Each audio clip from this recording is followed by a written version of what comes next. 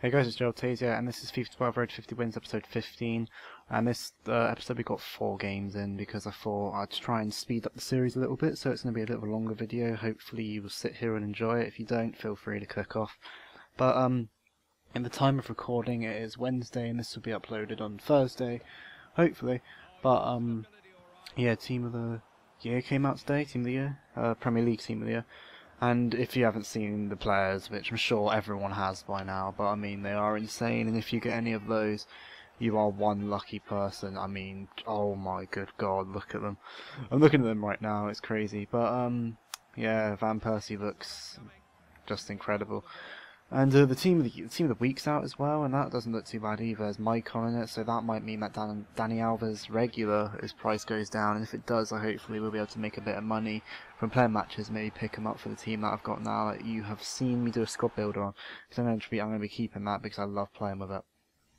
But um, yeah, as you saw, that first game was a bit of a ball draw. It was only 1 0, and he scored a tramp goal at the beginning. And this game, I said I'm not going to be doing tramp goals, and I am not going to be doing tramp goals. But this is from obviously from before I uh, stopped doing tramp goals, and there's two in this game, plus um, a normal goal, and he rage quits after the normal one.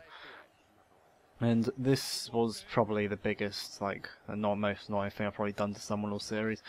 And I don't care. I do not care. At the beginning of the game, the kid started passing around the back for like the first three minutes, and then he booted it up and gave it to me, I thought, I'm going to just play and just try and get a goal. And I did a good job of it, because I got the goal.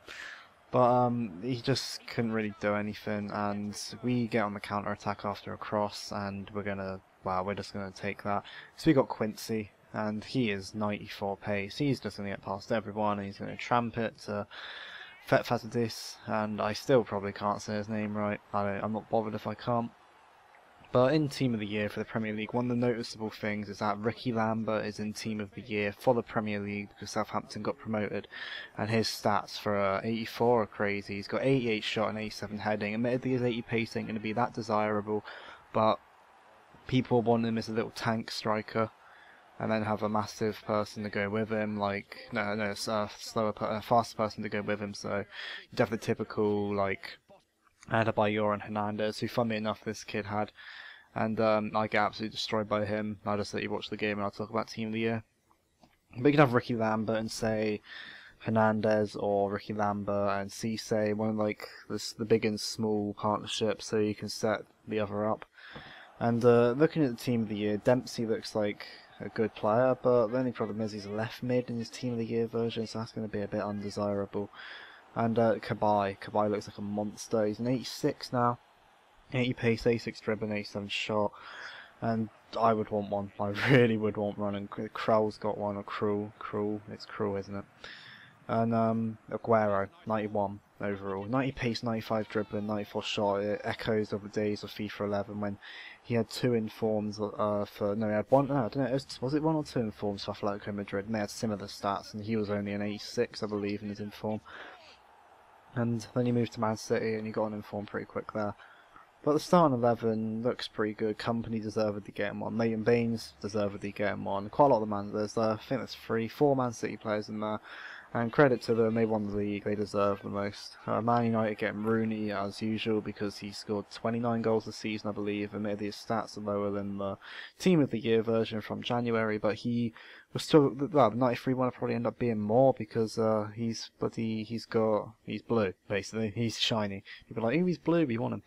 Uh, Valencia looks crazy for a right mid. Uh, Van Persie, obviously this is going to be the main talking point of the team if you look, 96 shooting, 91 dribbling, and he's got that pace uh, upgrade on him, so he's going to be as good as Torres with those crazy stats, and people are just going to be wanting him all over the place, and I reckon he'll end up settling at around 800k, maybe a bit more, maybe a bit less.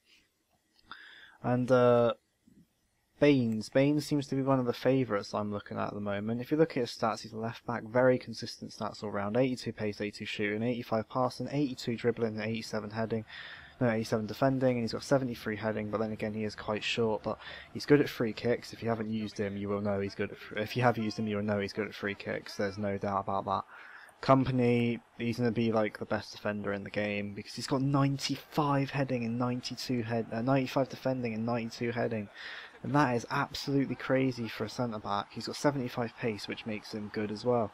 It's just, oh, he looks absolutely crazy. And Coloccini looks pretty good, 93 defending on a 85 centre back, 70 pace, maybe not that good, but Kyle Walker, 94 pace, and all the stats are consistent as well. He looks like the sort of player you definitely would have in any team, to be quite honest with you. If I could pick up one of these, I'd love it, but they're all going to be out of my price bracket, and if I do manage to get enough money to get one, I'll end up having to sell my whole team, so there's no way that's going to happen. But this is the last game, I believe, and watch this for a goal from Ben Arfa. It's, it's not a skill run, but we score from kickoff, and watching that is always good. We don't pass it to anyone, he just powers it there. And um, that was like the best immediate response you can have to a goal, possibly apart from scoring from like the halfway line from kickoff, but that's not going to happen that often. But I can't. I'm trying to look at the team of the week at the moment. I can't seem to on the console version, so we'll have to look on the web app, and I'll probably do that another episode. But I really want a Maicon, a Maicon in form, because he's an 86 now. I think I don't know actually. His normal version is an 85, so his 86 one might not be that expensive. But him with my informed Dede would be so good two team of the years, but I'm not going to be able to afford that. I could sell Maicon the 8A, get Hulk or someone, or Danilino, and I could probably afford some. I could finish this team, to be honest, which I might end up doing. But anyway, we've got one more goal left of this episode. I hope you enjoyed watching, and uh, yeah, so it was a 6-3 win. Danny Welbeck getting the final goal. But yeah, we'll be trying to get four goals, four goals an episode. I'll see you later. Goodbye. Love you.